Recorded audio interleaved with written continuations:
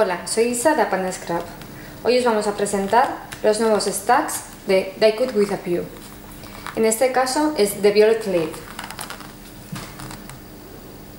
Se compone de 48 hojas, con 24 modelos diferentes. De cada uno hay dos copias y su medida es de 30,5 por 30,5. Son papeles libres de ácido, estampados a una sola cara y con un grosor bastante gordito. Como veis, algunos tienen una terminación metalizada. En este stack podemos ver una preciosa combinación de colores entre el verde pistacho, el turquesa y el morado. Esta primavera puedes darle viveza a tus proyectos con estos preciosos papeles.